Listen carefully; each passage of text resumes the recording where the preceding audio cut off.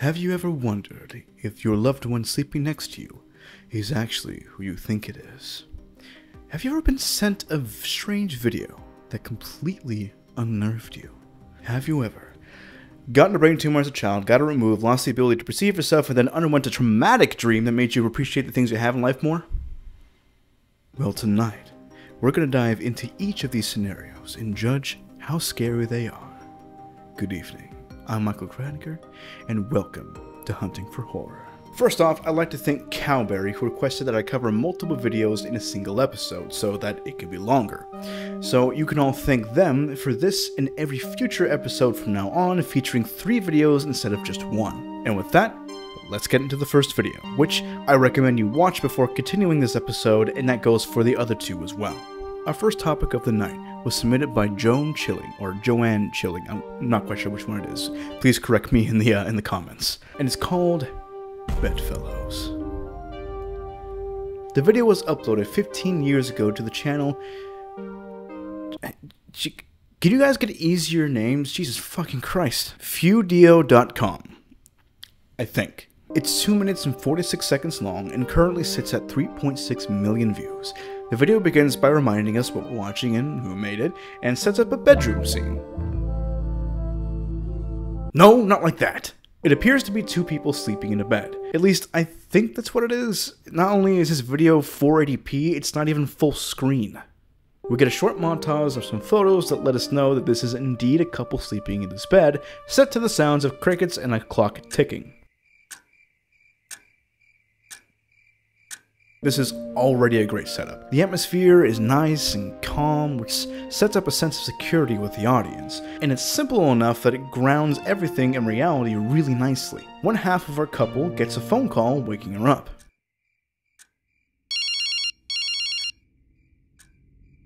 She turns around to ask her spouse to hand her a phone, but... Danny, can you hand me my phone? Danny, I swear to God. Danny seems strangely unresponsive. Huh, guess he's just a heavy sleeper. Realizing she's not going to wake him up, she reaches over Danny to grab her phone. Wow, she's getting really close to him. Good thing this is definitely her loving partner and, uh, I don't know, a demon or something? She picks up the phone and it's some guy Hello? on the phone. Oof, better not let Danny hear. He might get the wrong idea. Oh wait, that that is Danny. But if that's Danny, then who's...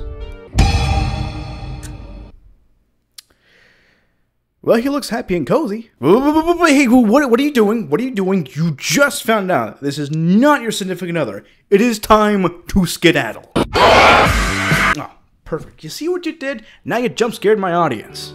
The video overall is really well done. We got a nice setup, the reveal that the person next to her is not who she thinks it is is played out really nicely, dropping it on the viewer and letting the horror of how close she was just to this thing sink in with the audience. And that right there is the proper use of a jump scare, which by the way I have a video about right here. Her reaching over to find out what is exactly in the bed with her is generally suspenseful, and it keeps the audience engaged and guessing on what happens next. Now, normally I would call a jump scare like this cheap, but it genuinely got me. I did not expect the jump scare to come right out the audience like that. It breaks the fourth wall a little bit, but it was effective, so I'll give it a pass. And I'll place Bedfellows in B tier. Our next video is actually one from my childhood. I remember it freaking me out a bit as a kid, but how does it hold up now? Let's find out with the illusion of bias. The Illusion of Bias was uploaded 14 years ago to the channel Mind Sea Base. It's 5 minutes and 27 seconds long and currently sits at 533,000 views. The video begins by questioning the viewer.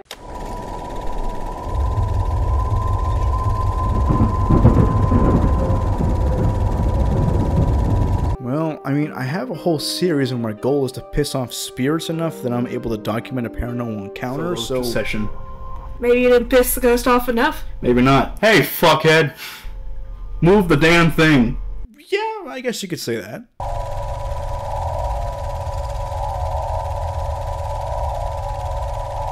No, I think I'm okay with being a decent person, although I do like doing this to people.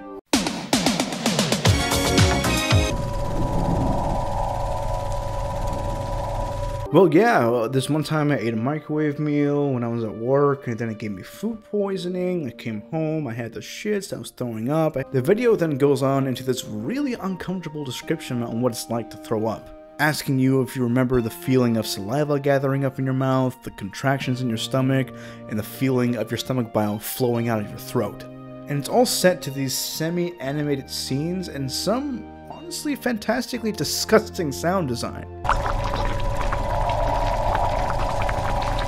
While I'm not a huge fan on the over reliance of text, some of which goes by a little too quickly to read.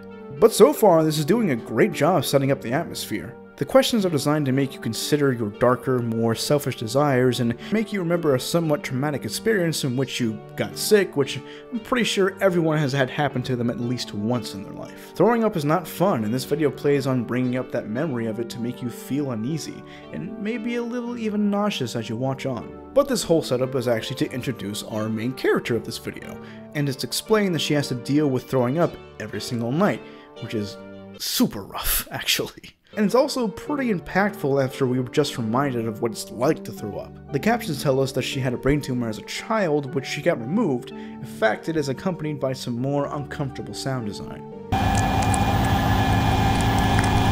Doctors were able to remove the tumor, however, at a cost.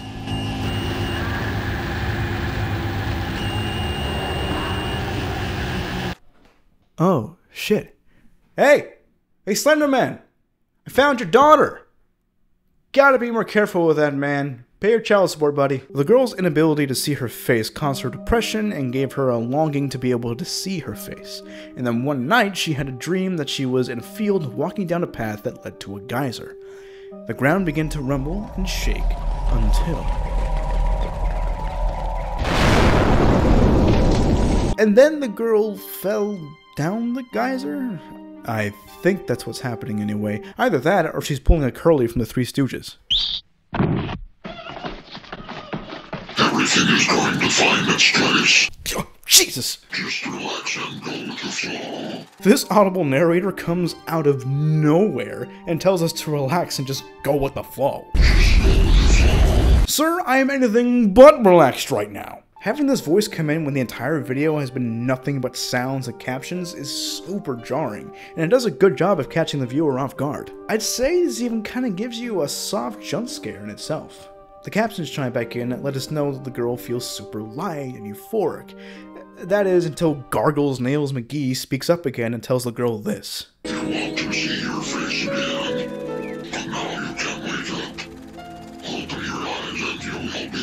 See your face again. But this information doesn't have the effect on the girl that you might think it would. She wakes up from her dream feeling sick, and we switch to this really unnerving background music. She no longer feels happy. She feels like something is wrong. That something is in the room with her, watching her. She rushes to the bathroom, excited to see if she can finally see her face again. However, what she sees in the mirror is not quite what she expected. But, I mean, come on. How bad can it be, right?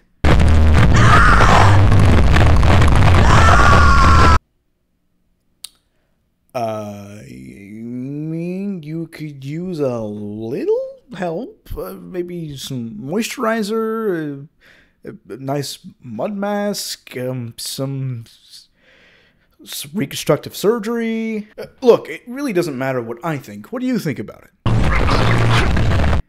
Yeah, yeah, that's fair. It's, uh, it's pretty bad. But luckily, that's not actually the girl's face, because shortly after, she wakes up. It was all a dream, thank God. However, from that night on, she wakes up every morning in a pool of her own vomit.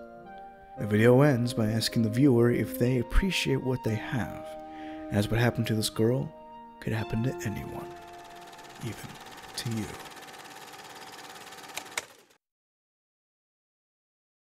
a little hand fisted if you ask me, and I feel like wanting to see her face again after losing the ability to perceive it isn't really all that selfish. But I'm not here to judge morals. I'm here to tell you if the video was scary or not. And yeah, I'd say so. It does a good job at getting the viewer to feel what our protagonist feels, and it's grounded enough in reality that, yeah, I would believe this could happen to me. I think the visuals add a lot too. They remind me of the jankier animation from old Flash games like uh, The House and Ex Mortis. Really sets the mood of, hey, something isn't right here. However, I think what really sells this video is the goopy, fleshy sounds that make you feel uneasy. And that Grudge Girl sounding noise that happens when we get a look at the girl's face, yeah, that was well done. I think I'll put that in A tier.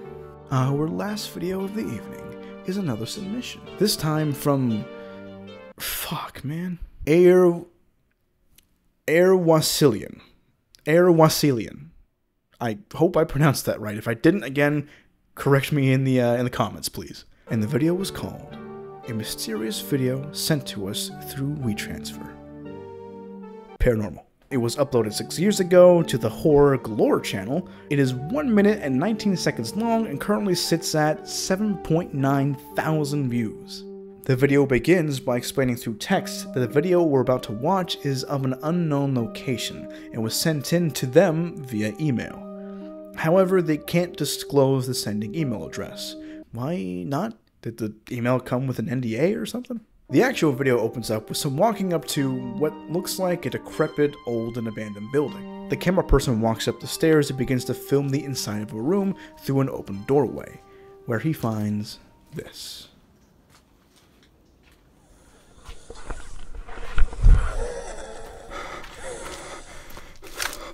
Did you see it? No, really, did you see it? I, I, I couldn't quite make it out. It looks like someone sits up from lying down on a bed of some sort, accompanied by the sound of an asthmatic person reaching for their inhaler. The camera person then runs away, then the video ends. Uh, was it scary? No, not really. There was a good setup with the added mystery surrounding the video itself, but not much actually happens. Person walks up to abandoned building, homeless person walks up, remembers they're homeless, person leaves. I can see how that might freak you out if you were the one filming, but watching it secondhand, eh, E tier. But that was all the videos for this evening. Thank you to everyone who submitted a video. If you have a scary video you'd like me to talk about, leave it in a comment or in our new Discord, link in the description. And as always, this is just what I think. Let me know what you think in the comments below. And thank you for watching.